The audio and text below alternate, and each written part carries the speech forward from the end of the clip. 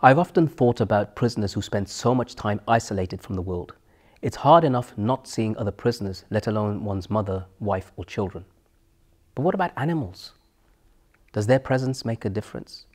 Could you appreciate a crab or a lizard in your cell?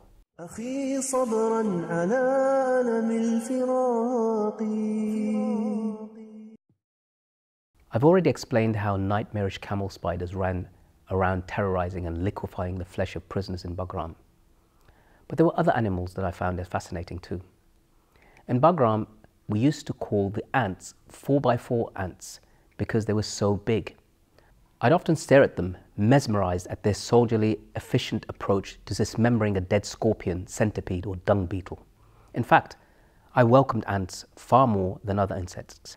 Guantanamo was also teeming with wildlife. Sometimes we'd get to see it.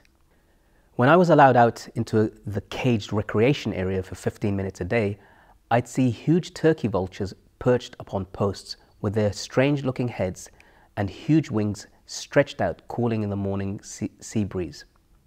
A sea I couldn't see. Sometimes moths would fly into my cell. Some were as large as birds. Once there was a repeated tapping on my metal cell roof, which kept the guards busy and frustrated. They realized it was a red-headed woodpecker that was either confused or perhaps was trying to break me out. They'd throw stones at it and it would fly off, laughing, just like Woody Woodpecker. I'd laugh too. Snakes, banana rats, and lizards often came, became our cellmates. Some prisoners would feed them and keep them as pets before they were removed. Although our fellow humans are our primary concern at Guantanamo, animals often provided a much valued glimpse into the preciousness of life.